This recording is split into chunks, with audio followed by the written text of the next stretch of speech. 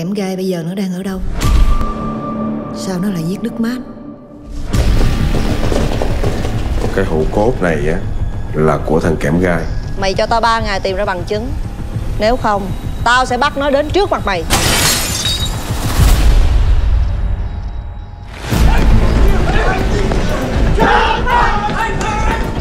Hậu tạ một tỷ Thằng kẽm gai nó chết chắc. Nếu sau ba ngày Tôi không có thằng kẽm gai thì sao Thì người nằm trong hũ cốt Là tao. Không phải như chị nghĩ đâu. Lúc em tới nó đã chết rồi. Chị phải tin em. Mày kêu tụi nó lật tung chỗ này cho tao. Đứa nào cản chém. 13 cản chém luôn. Giờ này các anh chị tụ tập lên làm gì vậy? Dạ tụi em hóng mát anh Quân. Rồi mát chưa? Dạ hơi lạnh rồi anh Quân Mày đang giữ cái tao cần. Muốn trao đổi á Thì tới tìm tao. Tao hứa sẽ cắt ngón tay của mày thật là chậm. Để mày cảm nhận được. Vì chị tụi em chết mất xác cũng được nữa. Nhưng mà thằng kẽm gai là thằng nào?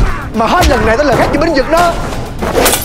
Đêm nay tôi mà không có kẽm gai Bà đi nhận xác hai đứa này nha. Bà vì thằng kẽm gai Bà bỏ hai thằng em vào trong kia. Bà bị điên rồi. Đi bao nhiêu thì về bao nhiêu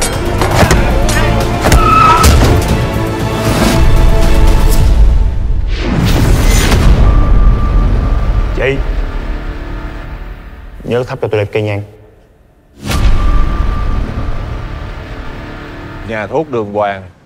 Cứ là lấy tên tiệm thuốc cũng cà khịa lên đường băng của tôi nữa. Đường Hoàng là tên thiệt của người ta. Chỉ có tên đường băng của ông là tên giả thôi đó. Anh Nguyễn Văn Trinh. Hai mày đứng im cho tao à? Dạ Anh Trinh